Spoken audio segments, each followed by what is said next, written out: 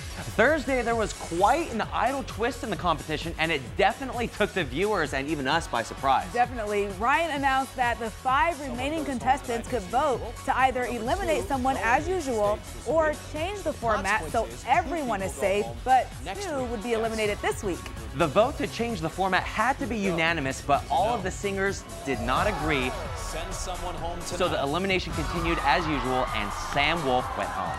Now, that would have been Sam's second time being saved, so it seems that the Idol producers really, really wanted him to stay on the show, even though he clearly didn't have enough votes. After the show, Alex and Gina revealed that they were the only two people who voted that someone should go home, so it will be interesting to see the backlash from the Wolfpack fans. Yeah, but you know, I definitely would have voted to send someone home. They're oh, friendly, yeah, but they're not friends. This is a competition, and we're only a few weeks away from the ultimate win. Now that we're left with the final four, this week's Wednesday theme is love, breakups, and makeups. There are a ton of songs for them to choose from. Elisa, what are your suggestions? I think this could be a great category for Gina. Breakup songs tend to require strong vocals, and she's definitely got the voice.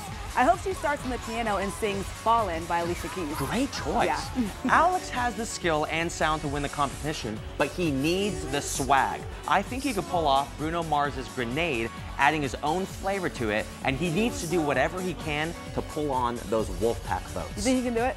Maybe. He needs that swag. Now, Caleb's songs are all starting to sound the same. He sounds great, but it's definitely time for him to change it up a little bit. A good song choice for him would be Three Doors Down, Here Without You. Ooh. Now, finally, with it being breakups week, whatever Jessica does, I just want to see her cry yeah. and show some emotion. She's been pretty emotionless throughout the weeks, so I think doing Unchained Melody by the Righteous Brothers, aka the Ghost Song, would be perfect. Now, with only four remaining, who do you think will be the last one standing? Tell us on our GDC Facebook page or on Twitter with the hashtag GDC. And find out who gets one step closer to becoming the American Idol this Wednesday and Thursday night at 8, right here on Fox 28. I'm Cameron Fontana. And I'm Elisa Henry. Good day, Columbus.